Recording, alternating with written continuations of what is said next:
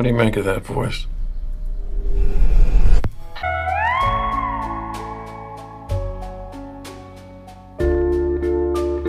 After everything we've seen, there isn't much that rattles either of us anymore. But this one,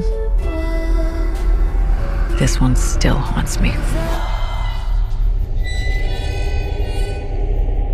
Two months prior to our involvement, the Lutz family had fled their home in the middle of the night, claiming that the house was haunted.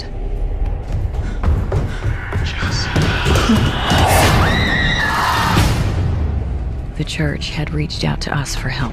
They wanted to see if we could confirm the activity that had been reported by the Lutzes. Something awful happened here, Ed. What is it?